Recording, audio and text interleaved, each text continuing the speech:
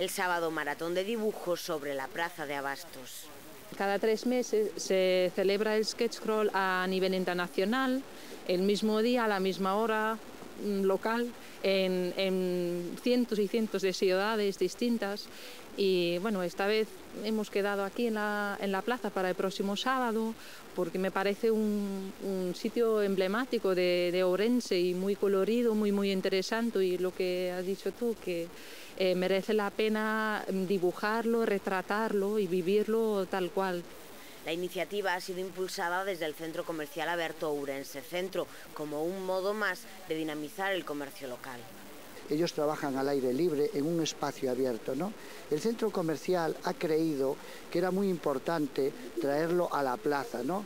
Porque quizá es uno de los buques insignia de nuestra ciudad que nos queda realmente por rematar, ¿no?